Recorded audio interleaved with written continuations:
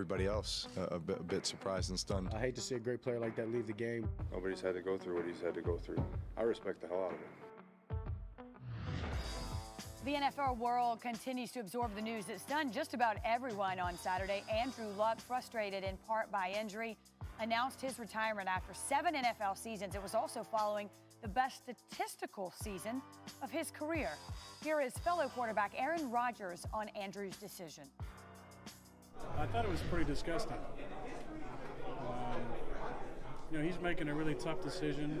When I think about it, I thought it would have been, you know, more of a standing ovation type thing and a thank you than than boos. I 100% respect him immensely for his decision. I salute him for uh, choosing, you know, quality of life. Uh, he's a fantastic player. He had a great career, and he's got a lot to be proud of. I think what he did is actually very selfless, not selfish. Well, to be clear, and he probably cleared that up, he, when he says disgusting, he's talking about the fans who booed Andrew Luck at the preseason game over the weekend after the news leaked out. Certainly not about Andrew's decision, because as you heard what Aaron had to say, he said, you know, I tip my cap. Look, I just, I, I have a hard time understanding the criticism here. He's 29. He made a decision for right now that's best for him, for his family, for his body. I don't think there's anything more to be said except we were all shocked and surprised. I think that's what it is, though. It's the shock and surprise, especially from the fan base.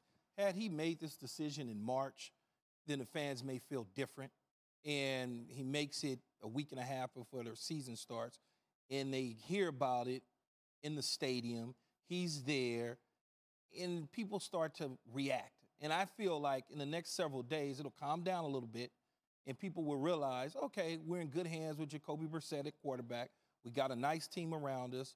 Let's go out there and see what Frank Reich and the boys can do. And, and Key, I, I, hear you, but you can't make a decision. You said this yesterday. You can't make a decision in March without information that you no, don't you have or that will change. No, it's you just... can't. But but the fan base is reacting to that decision sure, that was made understood. on Saturday. I, yeah. And people that are foolish out there criticizing him, you know, I feel they're just stupid. Like, well, why would you criticize a man for taking care of his body? I think that's a, a, better explanation to be it's, candid. You know, it's a shame, but for to retire the way he did, it took a lot of courage. Yes, and absolutely. It took a lot of courage. And you, you saw the emotion even when he was talking about the decision and, and all the things that he had to go through to get to that point. Um, it was a courageous thing to do. The fans to boo him, I think that's it's unbelievably like just. I can't even think about. That surprised how, me more, to be honest, like in the, the decision. home team. They're, it's the home team, and they're booing their quarterback that had been there and taken all those hits and put the team in a position to be a winning team. Um, so for me, it is it's it's shameful for them to, to boo him like that. I, I you know I hate it. I absolutely hate it. Yeah, to, to, Key's point, though, they're in the moment, right? I mean, you're you're at a game.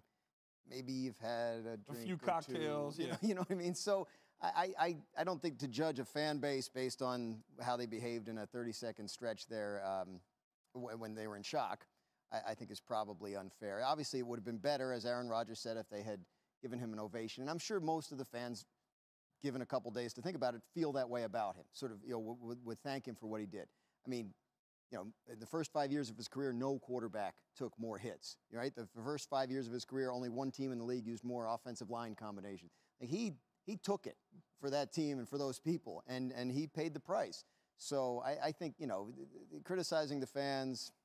I don't. I don't feel like criticizing fans. It's just kind of. And it's know, not. And it's not. Let's be clear. Act. It's not all 75,000 no, in the stadium. No, of course not. It's, it's just a handful in a dome on TV. It's loud. I didn't even realize that they were booing him yeah. based on the retirement. I thought they were just booing because they played bad or yeah. something. And then, no, because I, I, I know, know. He with the ultimate benefit no, of the I'm job. like, oh, okay, they're booing because they played bad or something. They got, and then I learned that later that they were booing him because of the announcement. They got extremely disappointing news. I mean, yeah. they're excited about their season, right? And yes. here, this guy's going to lead us, and now he's he's walking away from us. You, you feel betrayed. But a huge part of that disappointing that. news is that he's not healthy enough to play. You of know, course. I mean, which is why he made this decision. But you know, I said this to Rob. What when you juxtapose the difference between Andrew Luck's retirement, if you will, it is a retirement, and and Rob for Gronkowski's for now, it, it's totally different. I mean, to mm-hmm. your point, Rob went out really the the ultimate way, the ultimate on his terms with three Super Bowl rings.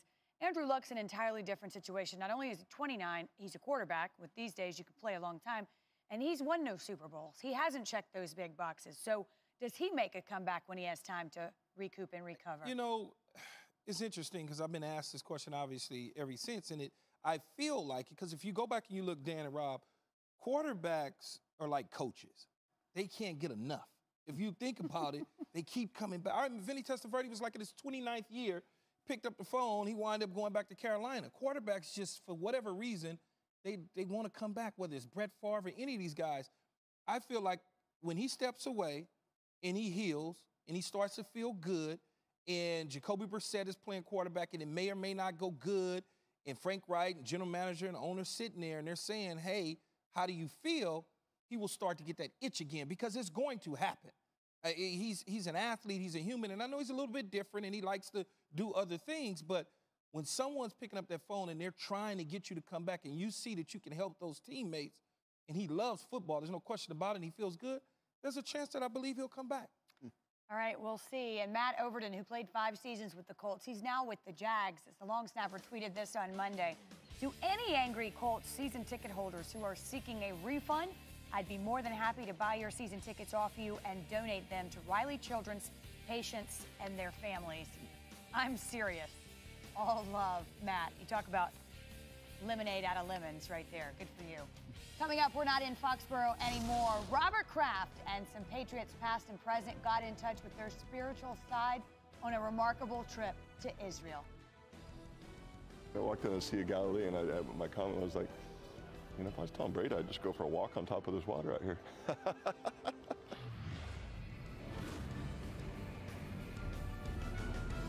this is the kid.